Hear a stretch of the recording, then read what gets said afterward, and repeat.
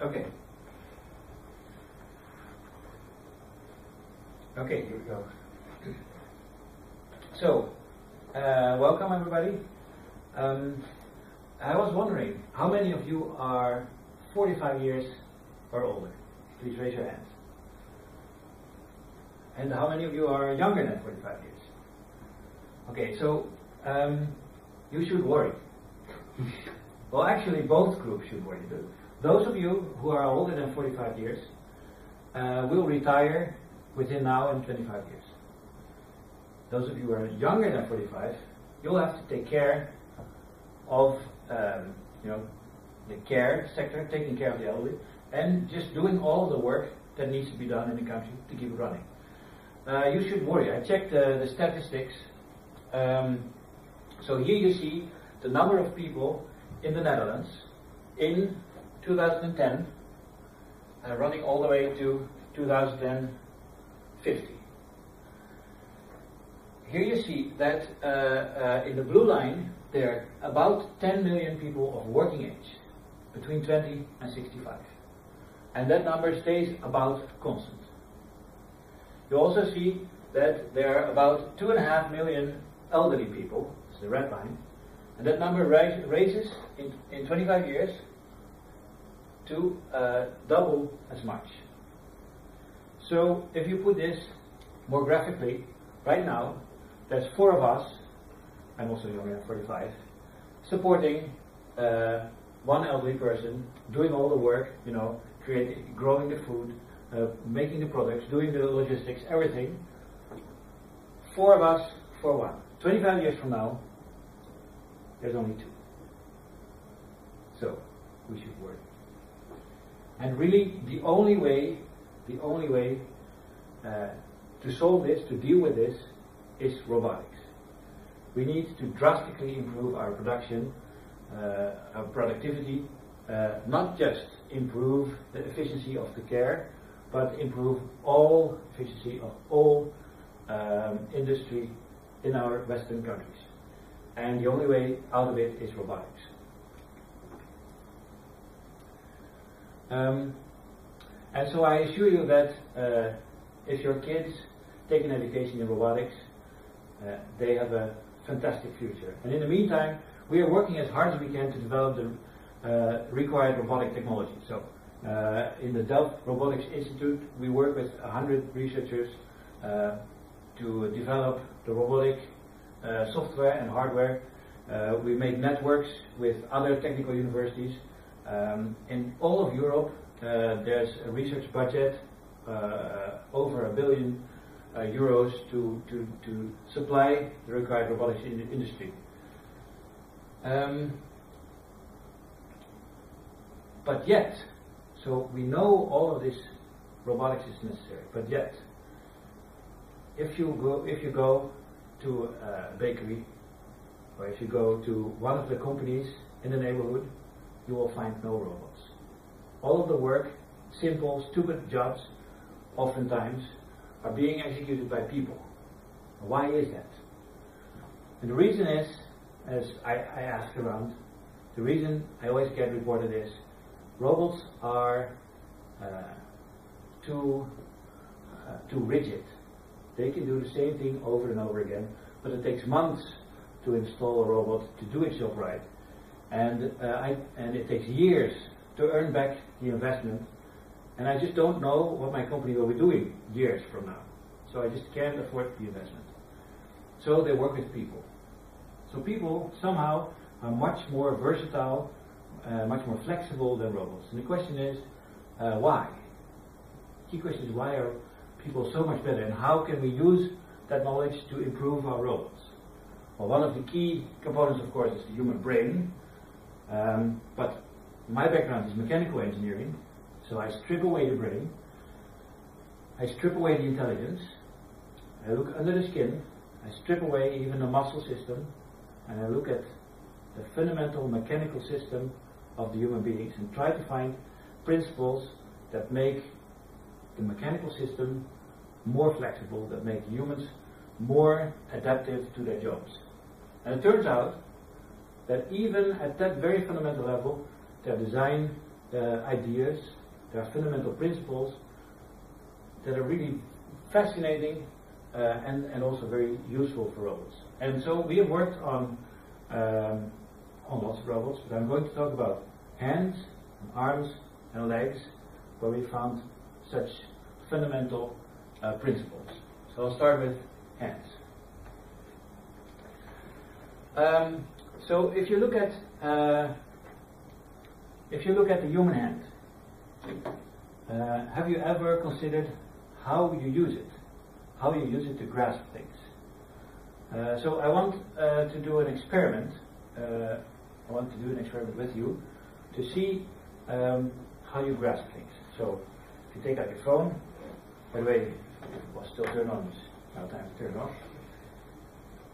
Um, so I want you to hold it firmly and use the other hand, two fingers, the finger and the thumb, to um, to hold it. Just touch it, okay? So now you know the size of your phone. So now you remove it, okay? And now you reproduce the same size, okay? As accurately as you can. Now don't move it. Now put your phone to check how well you did. So, what do I see? Uh, how many of you were exactly right? I don't see any fingers. So, I'm, off, I'm often off by uh, uh, a centimeter or more. So I'm really bad at positioning. By the way, which is the opposite of what robots can do. Robots are very accurate. So one millimeter accuracy, no sweat. For humans, it's really hard to, to be so precise. Uh, I, do, I do this question more often in, in audiences, and um, oftentimes some people say, "Look, I got it exactly right again," but they cheat. And what they do, they don't, uh, they don't even know it unconsciously. When they, the phone approaches, they quickly close the hand until they feel the touch, light touch, and that's how they recreate the, the correct size again. So we are really good at, um, well, cheating. We are really good at uh, doing it the easy way. And robots are really bad at doing that. Uh, so a robot can reproduce the size at the millimeter. If it's wrong, suppose it would be a millimeter wrong by its, uh, by its grasp size, it would just crush my phone and I would have to buy a new one. Um, so how do humans do that? Now it turns out that there's a very, very interesting mechanism inside the finger. So this is uh, the finger of the human hand. I stripped away the skin, stripped away uh, the, the nervous system, and just look at the bone. Here you see the uh, part of the hand. Here's the first um, part of the finger, and here's the second part of the finger, and here's the fingertip. And here you see tendons. Tendons are like the cables that pull the bones. So there's muscles pulling the tendons, and that's how you contract. And the interesting thing is that uh, there are less tendons, there are less muscles, than there is ways to move. So one, one muscle pulls on several parts at the same time. And while it does that, it's uh, distributing the force over the fingers, over the finger parts. We call this an underactuated mechanism. Uh, it's it's hard to pinpoint how it works in the human, but looking at this gives us enough inspiration to think about underactuation. How can you use just one motor to pull on several fingers uh, or several finger parts and um, um, make it um, make it adopt, adjust automatically to uh, whatever it's grasping. So we made an animation um, to show uh, in a little bit more detail how that works. So here in red, you see one of those. Um, in red, you see one of those tendons being pulled here. Here's one joint. Here's another joint. The third one we ignored for this, uh, for clarity. And so the, the one tendon is pulling on this part and this part at the same time. And in this movie, it is trying to grasp something that's uh, circular, cylindrical shape, uh, which we have cut through. And after that, it will grasp a square shape. So, and you see red arrows, and those mean the contact forces. So here's the squarish shape, and you see there's a contact force there, and contact force there. The interesting thing is that those contact forces, The interesting thing is that those contact forces are equal, independent of the shape and the size of the object. So this hand is shape adaptive, it's careful, it does exert exactly the right forces, it leaves my phone intact without requiring uh, a human-like skin with thousands of sensors, without requiring lots of computation. So it's really the mechanical principle that solves the problem already. Now this will make robotics a lot more uh, affordable, and that's what we need.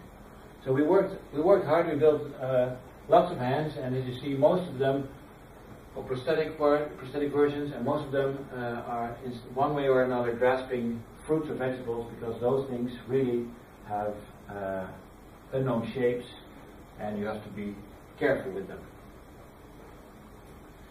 And here you can see how such a hand works in um, a complete system.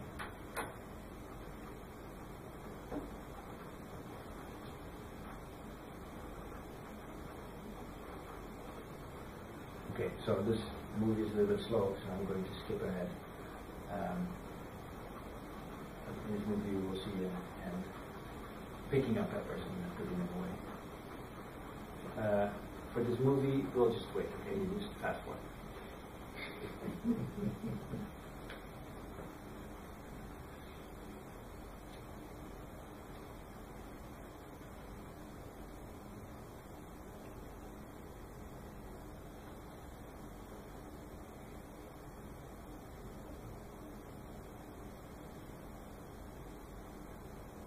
Have you ever seen this hand in action?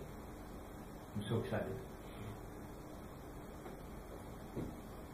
Will it or will it not grasp all these different sized, different shaped? Well, there you go. There you go. Yeah, it works. It's amazing. And it's fast too. So all of this possible because of proper understanding of the mechanical principles. Now, after this movie has finished, we'll continue. Um, because I also want to talk a little bit about arms. Again, the way humans use their arm can be of great inspiration for building uh, cheaper uh, or better robot arms. So for, before I can explain that, I, I have to uh, um, uh, go a little bit in depth in how robot arms work, uh, how standard robot arms currently work. All of, all of them are the same, so they have different colors, but underneath, underneath the skin, they're all the same. All of them have joints that rotate, here, joint rotates. You can lift the arm up and down. And inside those joints, they all have the same uh, stuff.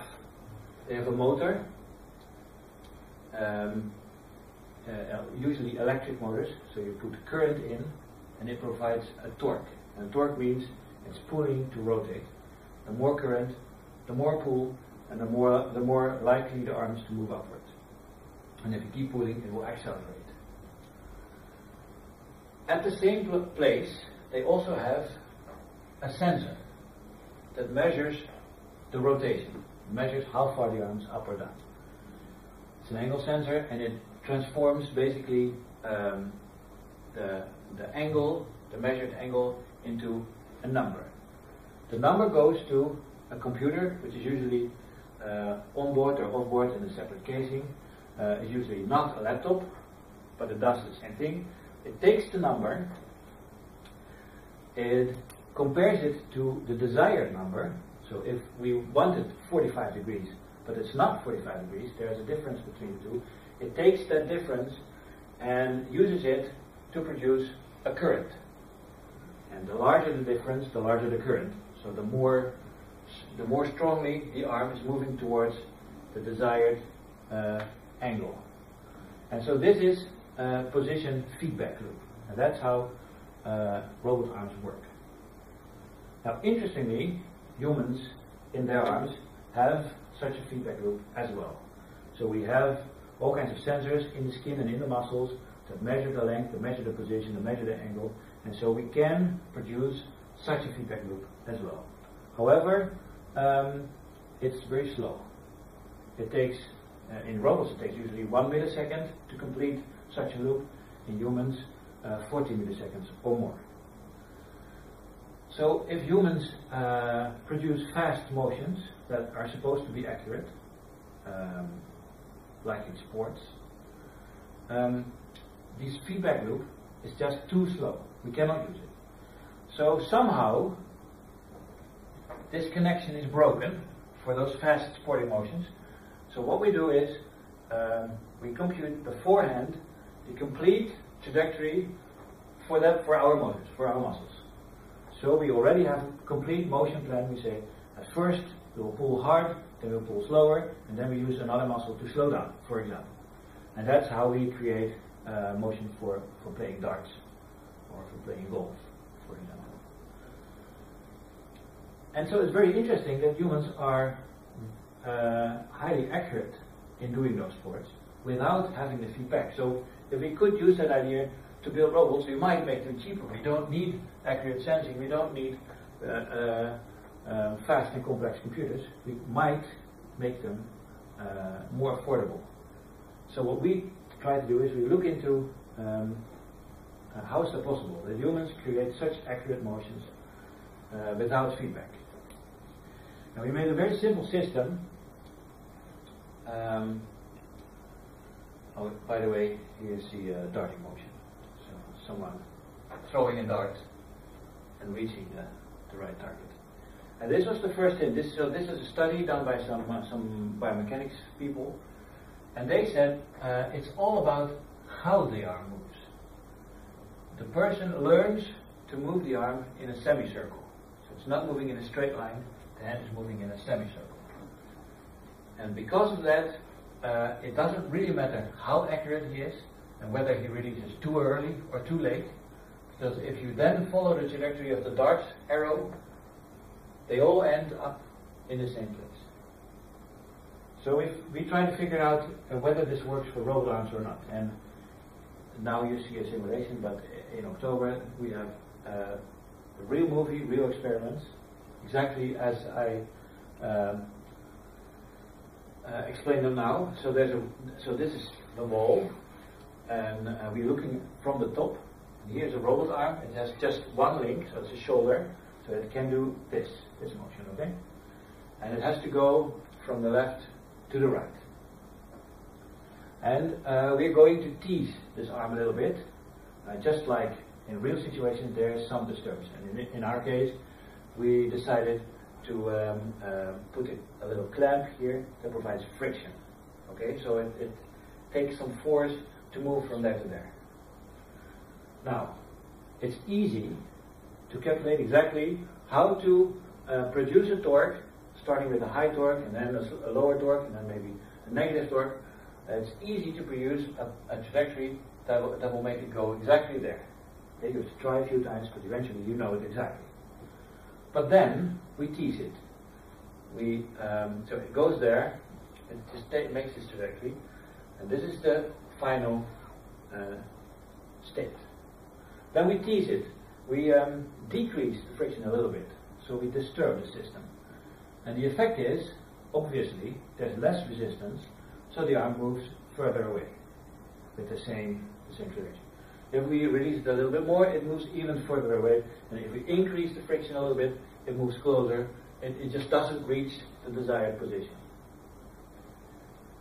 Then we said, okay, this is the stupid motion. It's just going from A to B. There's, uh, there's nothing intelligent about that. It's not like the darts person who's deliberately making this, uh, this error, this, this curvature. So then we asked the computer, tell us what would be the best motion so that you have as little deviation as possible. And the computer said you have to move back. First you move back a little bit, and then you make your motion. It takes a little bit longer, but not that much. It's about one third of the of the of the uh, path to travel. And it ended up, of course, you tune it again, it ends up here. And then we did the same thing. We increased we increased the uh, friction, and we watched where it would go. And the result, it went exactly to the same place. We decreased the friction a lot. Less friction, less resistance. It moved more back, and then it moved more forward, and it ended up in exactly the same place. There was zero error. So all of the error was eliminated for this particular um, uh, um, disturbance without the need for sensors and controls. So there is some intelligence in the way you move. There's smart, smart ways to move, and there's stupid ways to move. So that's what we learned about robot arms. And then we also worked a lot on robot legs. But I'll explain that another time. Thank you.